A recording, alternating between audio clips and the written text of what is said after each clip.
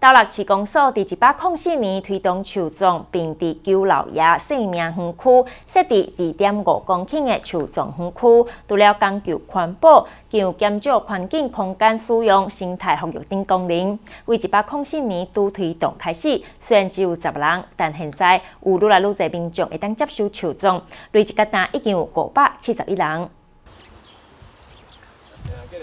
铁道市九老乡生命横区有一片二点五公顷的树种区，里面也栽种着罗汉松、龙柏、无忧树等丰富树木。而且树种区也以五个中心横来作为设计，代表着生命轮回圆满。现在看这个公园哈，已经嘛，它是一个同心圆。你从上面看是一个同心圆，同心圆表示讲生命圆满的结束了哈，一生可以比一生更好的观念哈。啊，德勒斯公所我们在这几年也极力在推从树葬区哈，包括啊，我们从纳古塔进入纳古塔里面啊，那纳古塔要树葬的民众哦，我们现在也在修法，我们希望啊，可以鼓励树葬哈，让。多余的空间出来哈，让纳古塔的空间不至于哈啊一抹个抹哈。树种方式主要是讲究环保，今日减少环境空间的使用，同时也带来活跃生态。透过将骨灰和土来共同结合，要关心的人会当来回归自然。它树葬就是说不立碑嘛哈，然后不做记号嘛哈，那就是用我们那一颗真诚的心来追思我们的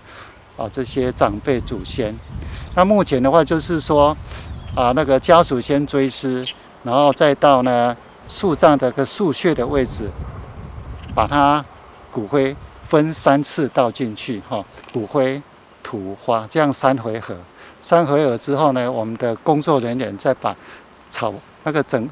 取起来的草坪，再把它放到上面。哦，到了市公所，是为一百空四年就开始推动树种。虽然为第一档只有十人，不过随着公所的推广，加上越来越多人认同这款的种类方式。一直到今年十一月底，第一初中区累计的人数是大概五百七十多人。目前啊，我们看到的这个树葬哈，到现在到昨天为止哈，目前树葬的人数已经有五百七十三人哈。啊，环保树葬哈是起码啊，大家都大多数都可以接受这个观念了哈。啊，就是讲啊啊，这这是一个非常环保先进的观念，而且啊，咱把咱的咱的骨灰哈，把它种种种到。土里面哈，就是回归大地哈。以一个一个树木来代替蒙牌，那更加环保，要生命会当来继续延续。